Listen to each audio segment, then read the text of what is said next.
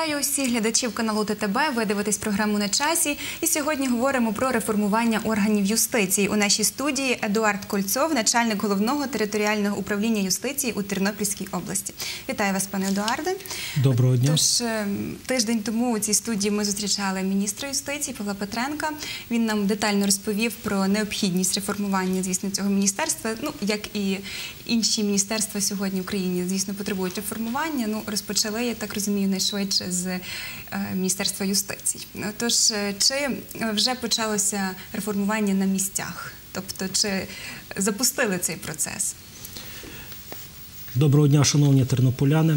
Я щиро вдячний обласній державній телерадіокомпанії, що мене запросили в гості, і тому хочу надати вам вичерпну інформацію стосовно реформування підрозділів юстиції на прикладі Тернопільської області. Наказом міністра е, юстиції Павла Дмитровича Петренко я призначений вже в нову структуру, яка в даний час називається Головне територіальне управління юстиції в Тернопільській області.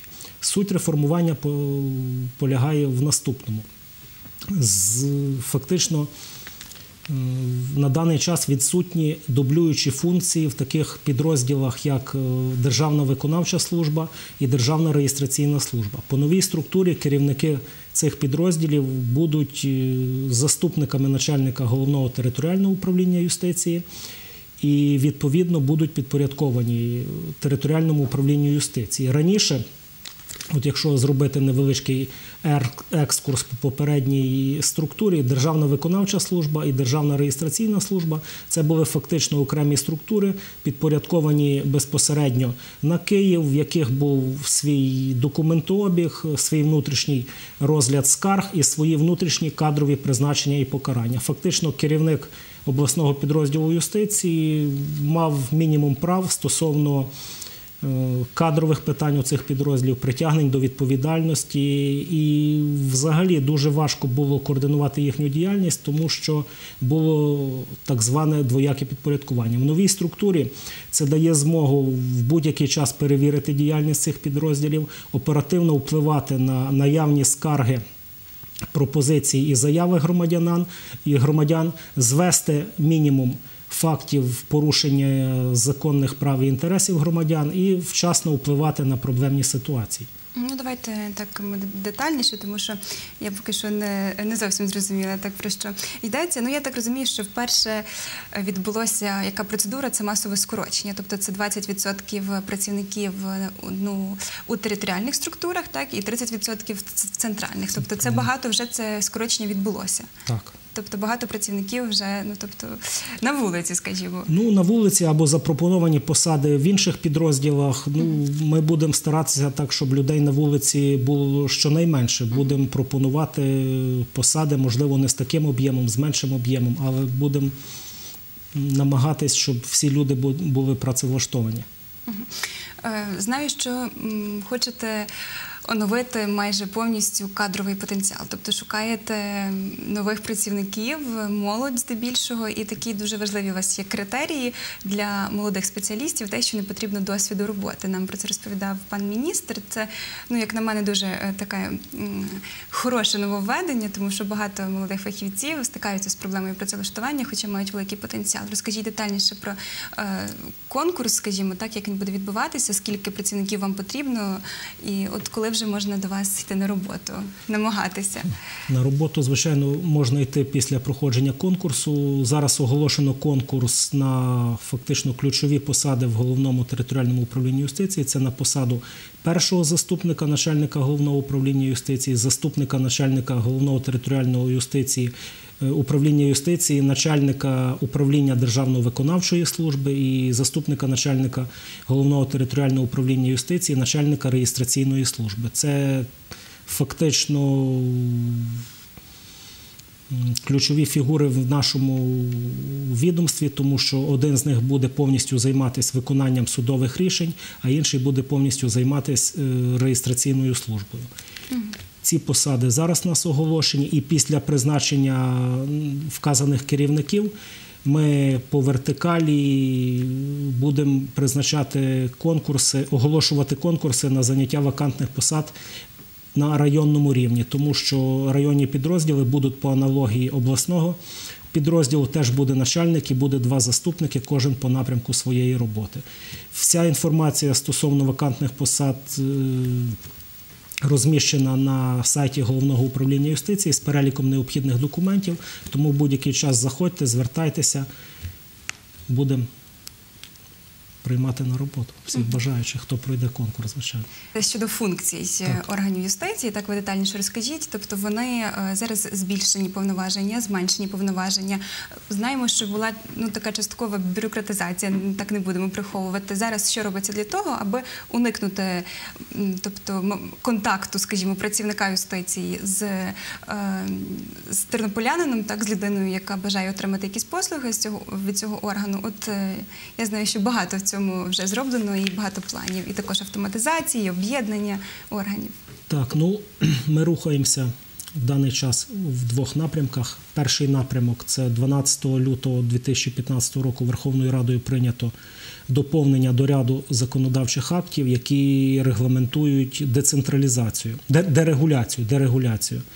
В чому воно буде полягати е, іменно зміни в нашій структурі? Цим законом делегуються повноваження органам місцевого самоврядування на прийняття документів стосовно реєстрації фізичних і юридичних осіб, а також прав на нерухоме майно. Е, Що це значить? Що людина підходить в центр надання адміністративних послуг, які діють при міській раді і в кожному районі, подає в єдине вікно перелік документів і через визначений термін, наприклад, через добу, дві чи три, приходить це саме вікно і забирає. Немає безпосереднього контакту особи з державним реєстратором. Це зведе до мінімуму фактично всі корупційні ризики, затягування термінів, там створення проблем ну, в такому напрямку. Це набагато спростить всю роботу. Крім цього, наступний крок. Це іменно що стосується Тернополя. Тернополянам відомі проблеми по реєстраційній службі, по державно-виконавчій службі, тому що вони не знаходяться в центральній частині міста. Реєстраційна служба в нас на Київській, державна виконавча служба по місту на Лисенка. Сьогодні ми провели ряд е, зустрічей таких продуктивних. Фактично вже визначились з новим приміщенням, чотирьохповерхове гарне приміщення. Зараз ми домовляємося про те, щоб ми переїхали з Грушевського. Туди головне управління, головне територіальне управління юстиції, Державна виконавча служба, Державна реєстраційна служба і заберемо всі підрозділи по місту, щоб ми були в одному будинку. До чого це приведе? Це приведе до того, що особа, житель Тернополя чи інших регіонів, який звертається в Державну виконавчу службу чи в реєстраційну службу, коли він побачить, що до нього погано відносяться, ну, не реагують на його там законні зауваження і скарги, він просто підніметься поверхом вище до керівника обласного рівня цієї служби і безпосередньо може поскаржитись. І ця скарга буде вирішена миттєво, і ми позбудемося довгої паперової тяганини при розгляді скарг, отриманні передачі відповіді і так далі. Я думаю, це набагато спростить, і скарг тернополян буде мінімум, сервіс буде на найвищому рівні. Зараз багато скарг. Скарг достатньо. Ну я вам скажу, відколи я в посаді нетривалий термін в межах трьох місяців, то ми вже у відсотковому еквіваленті скарги зменшили на 5%. Так що стараюсь особисто зустрічатись, вирішувати. Ну, ми для того і створені, щоб в людей було менше проблем. В районних управліннях які зміни передбачаються? Тому що йшла мова про те, що їх об'єднати за територіальним там принципом, скажімо, чи залишається в силі така думка? Ну, в нас є пропозиції. Звичайно, це рішення буде приймати Кабінет міністрів України, об'єднати ряд територіальних підрозділів, де найменше навантаження. Я поки що не хочу оголошувати, які саме. Ну, мої пропозиції будуть в першу чергу об'єднати Тернопільське міське управління юстиції Тернопільське районне управління юстиції, тому що сфера діяльності практично одна і робити дуже багато керівних посад в умовах сьогодення воно просто не потрібно. І я думаю, що це буде доцільно і набагато все буде спрощено. Е, Також е, пан міністр нам сказав, що передбачається ввести систему приватної виконавчої служби. Так, це є в проектах. е, що- Що це таке? Нам скажіть, і чи воно буде діяти також і у Тернополі, на обласному рівні, і на районних також, тобто детальніше, тому що таке, тобто поряд з державною буде діяти ще й приватна. Так, планується проведення такої реформи. Суть її буде полягати в тому, що частина повноважень залишиться в Державної виконавчої служби, що стосується виконання, рішень і інших документів, де є одною з сторін держава. Там, де будуть е, інтереси приватних громадян, комерційних структур і так далі, це буде вирішуватись питання виконавчою приватною виконавчою службою, тому що держава свої інтереси буде захищати. А якщо виникають проблемні питання між е, фізичними і юридичними особами, які не мають державної частки, це буде передано приватним приватній виконавчій службі. Коли передбачається створення таких приватних виконавчих служб, і чи їхні послуги будуть дорого коштувати? Є якась ціна вже там, скажімо, Ні, немає ще інформації. Ще інформація є, що це планується цього року зробити, і послуги, і вартість їхніх послуг будуть чітко регламентовані законодавством, щоб не було такого, що одна приватна структура одну ціну ставить, друга приватна структура другу. Все буде чітко визначено і затверджено тарифи на ці послуги. Е, Хотіла запитати також про е, на часі дуже сьогодні питання безоплатної правової допомоги. Тобто, як зараз функціонує при е, управлінні юстиції, скажімо, тому що дуже багато запитань юридичного, правового характеру. І навіть сьогодні ми мали у прямому ефірі таке запитання, і нам рекомендували адвокати звернутися до вас, зокрема, до начальника управління юстиції в Тернопільській області. От е, що стосується правової безоплатної допомоги, скажіть, і потім, якщо матимемо час, я безпосередньо скажу цей приклад. Ну, на даний час вже діє центр надання безоплатної правової допомоги. Ну, поки що функція його зосереджена тільки на правову допомогу по кримінальних провадженнях. З 1 липня буде розширено кількість послуг, які будуть передбачати надання адвокатами безоплатної правової допомоги і по цивільних, і по адміністративних справах. Це з 1 липня. Тому зараз центром надання безоплатної правової допомоги проводяться заходи, щоб встановити ще в трьох районах аналогічні центри. Там в круглодобовому режимі, бо коли був міністр, ми виїжджали в цей центр. В круглодобовому режимі адвокати надають безоплатну правову Ну, ви допомогу. відчули, що є потреба, що багато охочих, багато людей, які потребують цієї допомоги, тобто, що е, потрібно працювати і розширювати цю сферу. Ви? Звичайно, звичайно, треба працювати, розширювати, тому що, як цій приказі, проінформіруван, значить вооружен на російській мові. Тому якщо людина знає свої права, вона себе відповідно і впевненіше почуває. Е, Також однією з ваших функцій є контроль за діяльністю судових експертів. Так, тобто, чи е, у, цій сфері зараз є якась новизна, щось вдосконалюється, тому що ну судова реформа поки що, начебто, не поспішає, так але ну щось потрібно все таки змінювати. Тобто щодо цієї сфери кілька слів. Є в нас підрозділ, який спеціально займається перевіркою діяльності судових експертів, дотримання ними всіх діючих вимог законодавства. Є чітко складений графік перевірки цих експертів, тому на даний момент говорити про будь-які там порушення з їхньої сторони, наскільки я володію ситуацією, в них все досить чітко. Їх на Тернопільську область небагато, і тому вони завжди знаходяться в поле зору, і ми не допускаємо з їхньої сторони порушень їхніх функціональних обов'язків і функцій. Е, Основне з таких питань, яке безпосередньо є е, функцією обов'язком Міністерства юстиції, так це люстрація. Ми знаємо, що при міністерстві створений департамент люстрації, є також е, громадська рада, так з питань люстрації. Також така громадська рада має бути створена в кожній області.